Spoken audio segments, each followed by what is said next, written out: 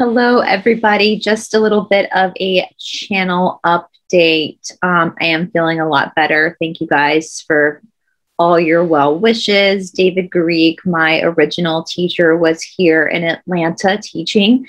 And so I was helping with that. And then I got strep throat, and I was very, very grateful. I had pre recorded some videos for this week. Um, I just finished up wrapping up Monday Mystery which of course will be aired on Monday with Angie and Stephanie. It's very interesting story that Angie presented.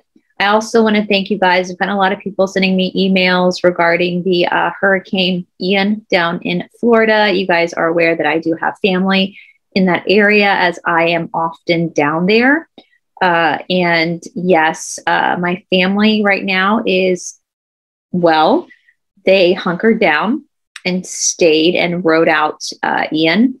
They were right, right at the bullseye of this hurricane. And I know that there is a lot of damage.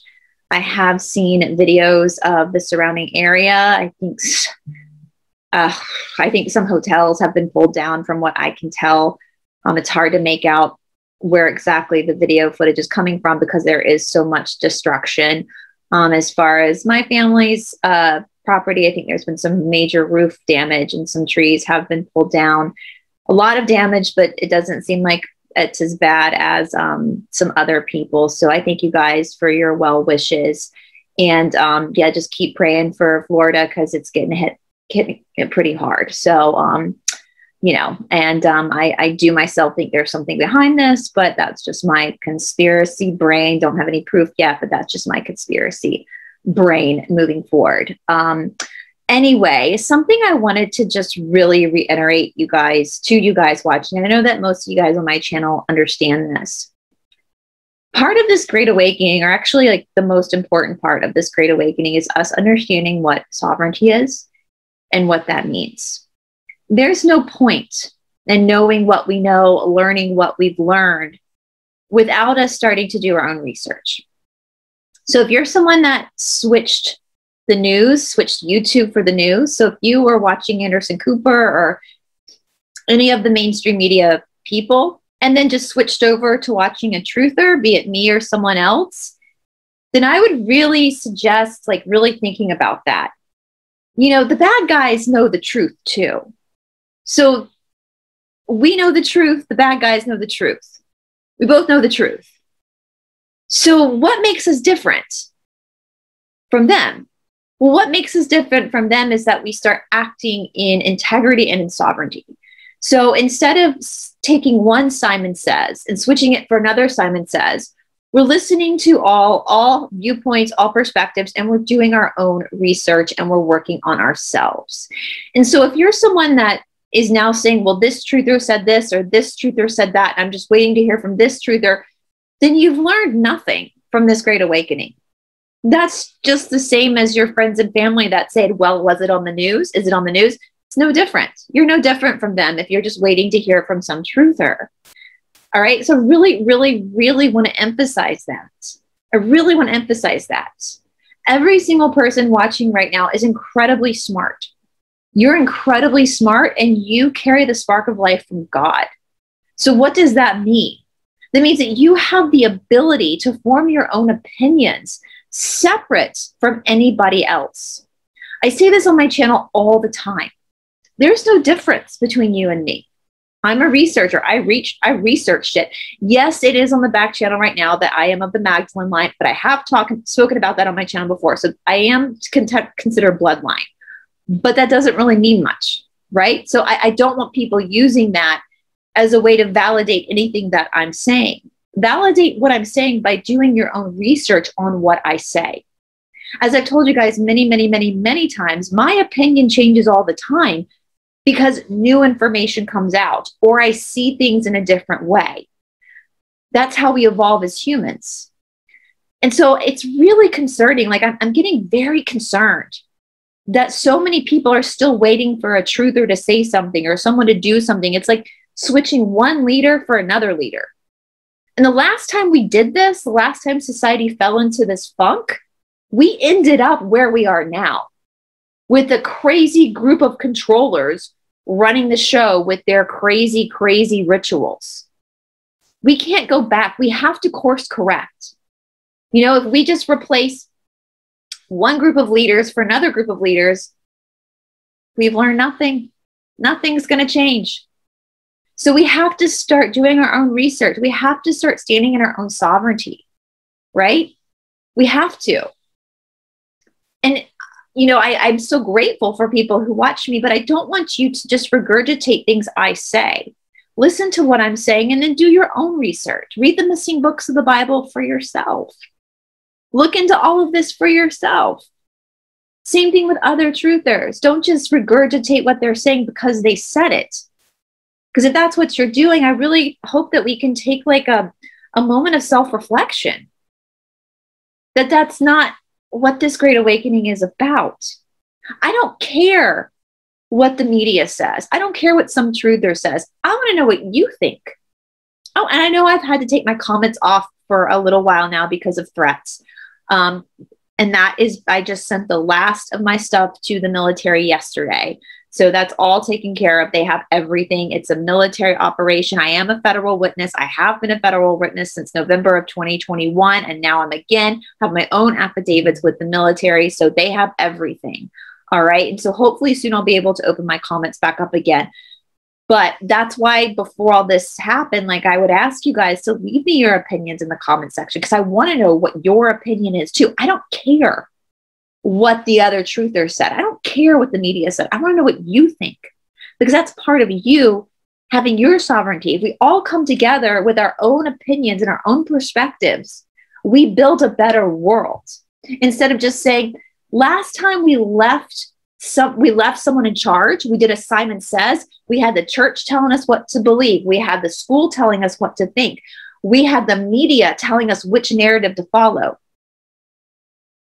do we really want to go back to that that's up to us each and every single one of you your actions affect the greater whole so what kind of a world do you want to live in the truth is out there. Don't expect someone to tell you the truth or show you the truth. Instead, be that person for yourself. Find the truth for yourself. I have just as much everything I use for my research, you too have access to as well. You I don't have any different search engines from anybody watching right now. And I, how I research, this is what I do. I start with the official narrative. I start with the official narrative. I listen to lectures from professors at Harvard, at Yale, at Cambridge. I read all of the documents. I read theses written by graduate students. I look through lawsuits, all that kind of stuff. And then I start to deconstruct it. And I'll look and see what other people who have deconstructed it have said. And then I deconstruct what they have said and I break things down. I have this full bookshelf. I have another full bookshelf in the other room, I have a storage unit full of notebooks where I have just taken so many notes. And the research is never done. It's never done. A, a, project I worked on a year ago, I can go back to and have a different perspective because time has changed and I see things differently now. And so everybody has the ability to do that. And I would encourage you to listen to what the official narrative is. Don't poo poo it because you know it's a lie. Listen to what they're saying and then break everything down, deconstruct it yourself. Yeah. Especially when it comes to the missing books in the Bible and it, and it comes to God. I mean, you have God inside of you, it's, He's already there. So why are you li- waiting for someone else to tell you who God is when God's literally in you? God's never left you. You don't have to invite the Holy Spirit in. You were born with the Holy Spirit in you, it's never left. So, why do you need somebody to tell you what that looks like for you when you're literally the one carrying it inside of your body, inside of your, your soul? Why are you trying to tell someone to tell you what that is when you're the only one that can experience that? That's how powerful you are. And that's that's the crux of it, right? If you still are under this illusion or delusion that you need somebody else to show you the way, then you're still under the programming of the bad guys. Because the truth is, you are powerful. Your life has purpose. You carry everything within you that you need. The Yoga Sutras say this, and I, I've said before, it took me a long time to figure that out. When Patanjali says that in the Yoga Sutras, that everything you have, you have within you, it took me a long time to figure that out, but I finally figured it out. You have everything you need in you to find the answers, to find the truth. You don't need me to show you the truth. You don't need somebody else to show you the truth. If you're watching my channel, I love you for it. But don't just take my research at face value. Don't just be like, oh, because Brice said this. No, no, no. Listen to what I say and then research what I say. I want to know what you think. Here's a topic we're working on. This is what I found in my research. This is my um, critical analysis of it. What's yours? What do you think? And the thing too with this is, is you don't have to have an opinion right away there's some things that I don't actually have an opinion on right now. One being the Garden of Eden. I'm kind of juggling with different theories right now, and I haven't settled on, on an opinion yet, and that's okay. Sometimes it's okay to be in that place of, I don't know yet. I don't know. Give me time. Give me time to think through this. All right. And so I don't mean to, to come off as like harsh, but I just want to like shake people awake and be like, you are so much more powerful then you understand. And this nefarious group of people have dumbed you down to the point where you don't think you can actually make these decisions for yourself. But that's not the truth. They did that for a reason because you are powerful. You don't need Simon Says. You don't need to follow the leader. You need to follow yourself. What is your truth? What do you believe? What's your research? Okay. And so I just really, really want people to just really hone in on that. You know, it's also, we've talked about this a lot with all these like guilty people in this controller group. We have to let the evidence speak for itself and we have to trust that the court system is going to do its job. But as far as us as individuals, you know, I can't control what the military does. I can't control the past. I can't change the past. But what I can do is for me, I can course correct the trajectory of the future.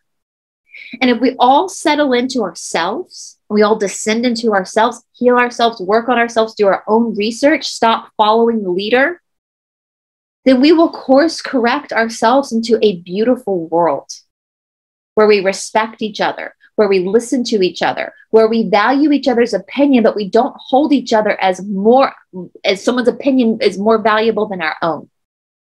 All right. And so I just really, really want to like just really express that to you guys that you are smart. You have critical thinking skills. God gave you critical thinking skills for a reason. Everybody watching right now, I know you know how to read. That's all you need to be able to do to research is read. The most important thing you teach someone is how to read and write, because once you teach them how to read and write, they can teach themselves anything. You were put here on this timeline for a reason. Take your power back.